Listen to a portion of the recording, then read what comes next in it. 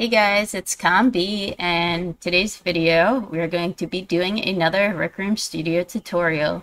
This time I'm going to be teaching you how to use the terrain tool. I'm not going to show you everything, but I'll show you all the basics and enough to get you started. So we're going to go hop on over to Rec Room Studio and I'll explain how to use the different tools. Alright, let's go. Alright, so right now I am in an empty studio room. I'm going to right click, create 3D object, and go on down to terrain. That's going to bring this really big grid over without a texture. Um, if you're in the inspector tab, you now have these terrain tools over here. So the first thing I'm going to do is I'm going to add a texture. So let's go down to paint texture, layers, and we're going to want to add a layer. So as you can see, I already have some textures and materials set up. If you don't have them, you could download them, but I'll just select a grass texture for now. So if I zoom in, you can kind of see that dirty grass texture that I imported, and that's going to fill up all of the terrain because we have not yet added any other textures. All right, so now that we have our grass in there, we're going to add another layer. And let's pick another texture that I already have. We'll pick some rock texture. I'm not really sure why the thumbnail is not showing, but as you can see, I can paint in the rock texture if I have it selected. Uh, let's undo that.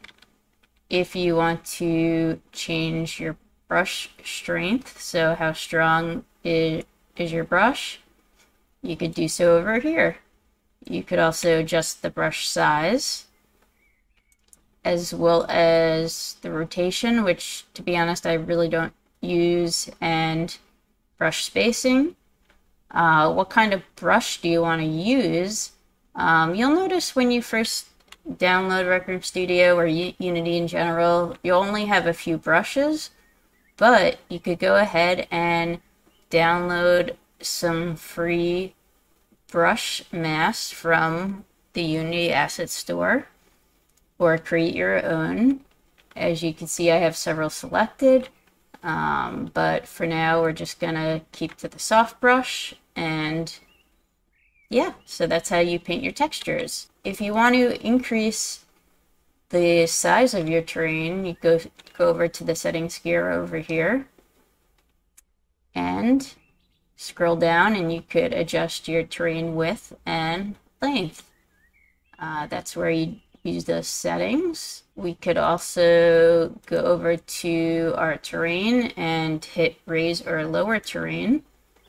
Um, sometimes Rec Room Studio, I'm not quite sure it does it where it's a visual glitch, but just go ahead, click out and click back in and you should be able to click on some of your brushes for the raise or lower terrain. Uh, one thing to note before I get started is you cannot paint holes in Rec Room Studio. Right now, that is not supported, and if you do, you will get an error if you try and upload it. So let's go create some mountains, and then we'll color them in and make it look all nice and pretty, or at least prettier than what I have now.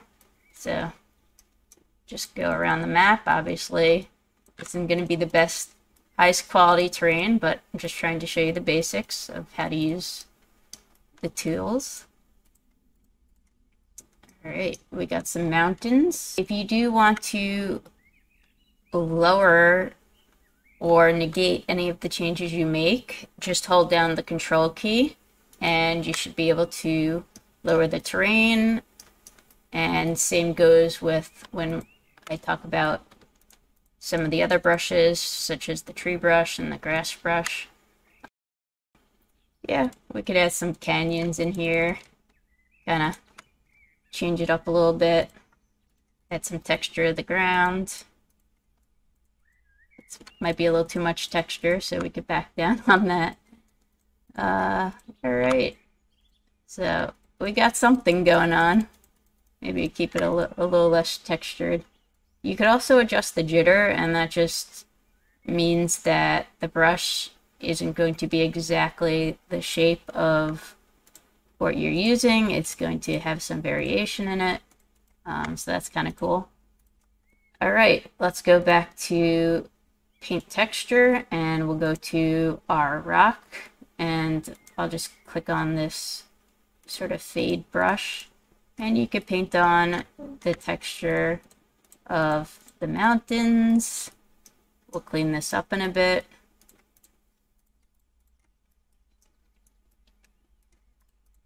There we go. And if I want to then have that blend a little bit more with the grass, I could do so. There we go. Um, just to note though, the more layers and textures that you use, the more the more the more memory I guess it'll take up and lag it'll cause on some platforms. So just keep that in mind before you start adding a thousand different layers. Um, let's add one more layer and we'll do let's pick mm, yeah we'll do so we'll do some dirt dirt color. Okay there we go. And we'll just dirty it around. So I'm going to explain a few other settings that are very important in Rec Room Studio. So this actually brings up a good point because as you'll see, it is very shiny, this texture. If you click into any of the uh, layers that you're using, for instance, the grass, I go to select and I will have this folder that opens up of all my textures that I downloaded.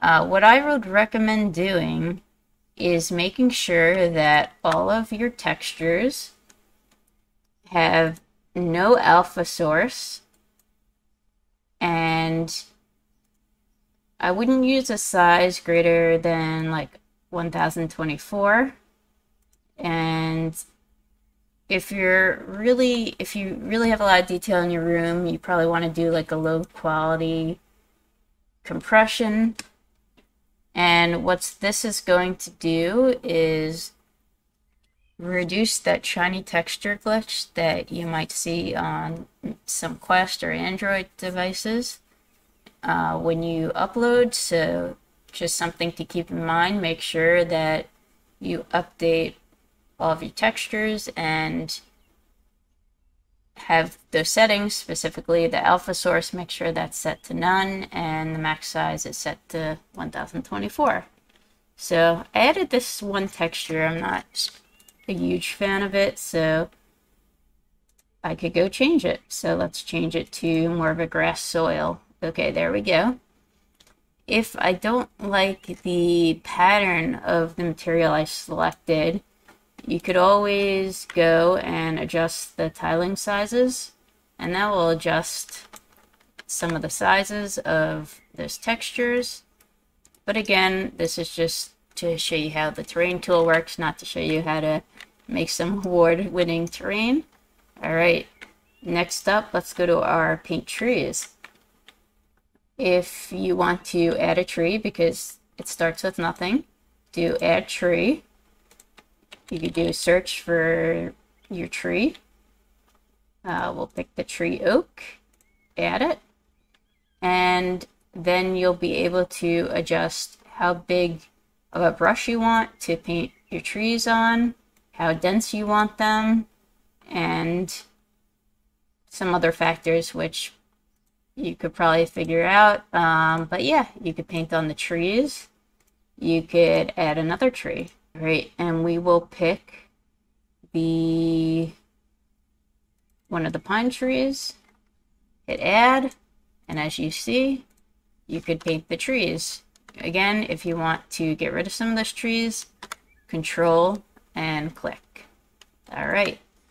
Next up, it's very similar, but if you go to paint details, you could add grass. So let's go add some grass that I have downloaded and we'll hit add. Now if I go and click, obviously that's a little too much grass. Okay, let, let's, uh, don't want to go crazy here. Uh, we'll, alright, that looks a little bit better. So yeah, you could add grass, you could add flowers. Um, I'm going to go open up Studio and I will show you the effect that the grass has when you look at it because it will shift with the wind as well as these trees that we added to our terrain. So let's go over to Rec Room Studio and hit play. Right here we are in our lovely terrain. We have the grass. Let's fly on over. Let me get rid of, uh, there we go. Fly on over slowly. I may have made this a little bit too big for now, but that's alright. Okay, so here we are. We are in our terrain. You'll notice that the trees have that wind factor. And if we could find our grass, yep, there you go. There it has the same wind factor applied. So again, I made this in like five minutes, but as you can see, it's pretty easy to create terrain in Rec Room Studio. Again, I hope this tutorial helped you out, especially if you're a beginner and new to Unity in general. If you have any questions, feel free to post them below. And if you like this video and you want to see more, please hit like and subscribe. And I will continue to do more Rec Room Studio tutorials. So that's all I have for today. I'll see you guys later. See ya.